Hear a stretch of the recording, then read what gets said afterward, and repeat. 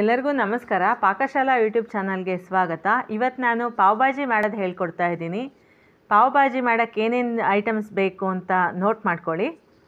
ನಾವು ಒಂದು cup beans ಮತ್ತು ಕ್ಯಾರೆಟು ಎಲ್ಲದೂ ಸೇರಿಸಿ ತೊಗೊಂಡಿದ್ದೀನಿ. ಅರ್ಧ ಕಪ್ ಅರ್ಧ ಕಪ್ ಕ್ಯಾಪ್ಸಿಕಮ್, ಒಂದು ಕಪ್ ಈರುಳ್ಳಿ, ಒಂದು ಕಪ್ ಟೊಮೆಟೊ, ಅರ್ಧ ಸ್ಪೂನ್ ಜೀರಿಗೆ ಒಂದು ಎರಡರಿಂದ ಮೂರು ಸ್ಪೂನ್ ಎಣ್ಣೆ, ರುಚಿಗೆ ತಕ್ಕಷ್ಟು ಉಪ್ಪು ಶುಂಠಿ ಬೆಳ್ಳುಳ್ಳಿನ ಕಟ್ ಮಾಡಿ ಇಟ್ಕೊಂಡಿದ್ದೀನಿ.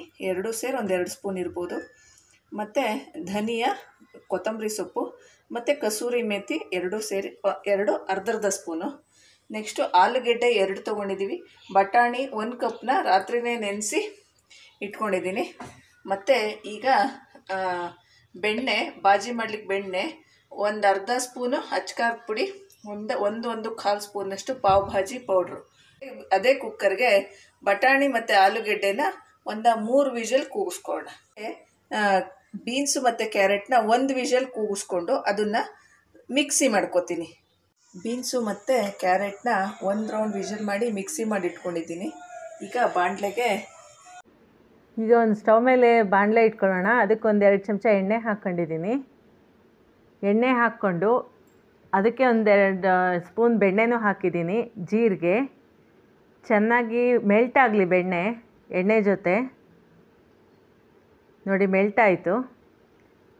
ಈಗ ಶುಂಠಿ, ಬೆಳ್ಳುಳ್ಳಿ ಕಟ್ ಮಾಡಿ ಇಟ್ಕೊಂಡಿದ್ದೀವಲ್ಲ ಅದನ್ನು ಹಾಕೋಣ. ಕೆಲವರು ಪೇಸ್ಟ್ ಮಾಡ್ಕೋತಾರೆ, ಕೆಲವರು ಈ ಥರ ಕಟ್ ಮಾಡಿ ಹಾಕ್ಕೋತಾರೆ ಚೆನ್ನಾಗಿ ಅದು ಘಾಟ್ ಹೋಗಲಿ ಶುಂಠಿ, ಬೆಳ್ಳುಳ್ಳಿದು. ಹುರಿಯೋಣ, ಒಂದು ಒಂದು ಎರಡು ನಿಮಿಷ ಹುರಿಲಿ, ಚೂರು ಕಲರ್ ಚೇಂಜ್ ಆಗುತ್ತದು.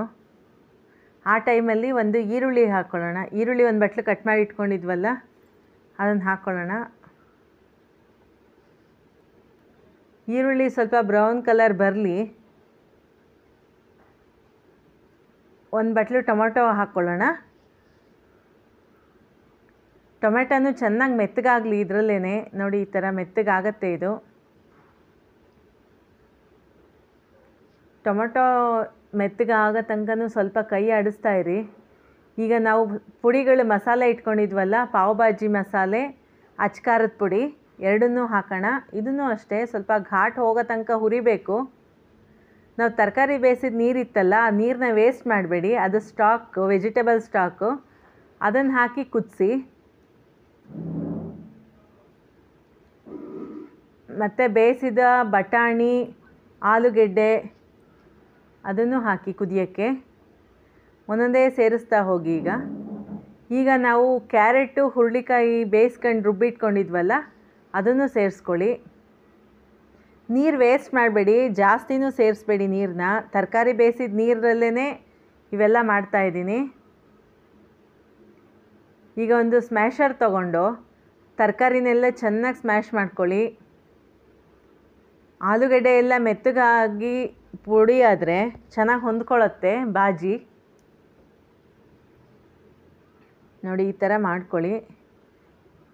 ಈಗಲೇ ಉಪ್ಪು ಹಾಕ್ಕೊಳ್ಳಿ ಉಪ್ಪು ನೋಡ್ಕೊಂಡು ಹಾಕ್ಕೊಳ್ಳಿ ತರಕಾರಿಗೂ ಸ್ವ ಸ್ವಲ್ಪ ಹಾಕಿರ್ತೀವಲ್ವ ಉಪ್ಪು ಬೇಯೋಕ್ಕೆ? ನಿಮ್ಮಲ್ಲಿ ಈ ಥರ ಸ್ಮ್ಯಾಶರ್ ಇಲ್ಲ ಅಂದರೆ ಒಂದು ಸೌಟಲ್ಲಿ ಮಾಡ್ಕೊಳ್ಳಿ. ಈಗ ಕುದೀತಾ ಇದೆ. ನೋಡಿ, ಈ ಥರ ಮೆತ್ತಗಾಗಲಿ, ಬಟಾಣಿ, ಆಲೂಗೆಡ್ಡೆ ಎಲ್ಲ ಮೆತ್ತಗಾಗಿ ಹೊಂದ್ಕೊತಾ ಇದೆ ಅದು. ನಾವು ಸ್ವಲ್ಪ ತರಕಾರಿ ಜಾಸ್ತಿ ಹಾಕ್ಕೊಂಡಿದ್ದೀವಿ ಈಗ ಪಾವು, ಲಡಿ ಪಾವು ಸಿಕ್ಕತ್ತಲ್ವ ಅಂಗಡಿನಲ್ಲಿ, ರೆಡಿ ಪಾವು. ಅದಕ್ಕೆ ಸ್ವಲ್ಪ ಬೆಣ್ಣೆ ಹಚ್ಕೊಳ್ಳೋಣ. ಬೆಣ್ಣೆ ಹಚ್ಕೊಂಡು ಪಾವ್ ಭಾಜಿ ಮಸಾಲೆ ಉದುರಿಸ್ಕೊಳ್ಳಿ. ಪಾವು ತುಂಬ ಸಪ್ಪೆ ಇರುತ್ತೆ. ಒಂದು ಕಾವಲಿ ಇಟ್ಟಿದ್ದೀನಿ ಒಲೆ ಮೇಲೆ. ಅದಕ್ಕೊಂದು ಸ್ವಲ್ಪ ಬೆಣ್ಣೆ ಹಾಕಿ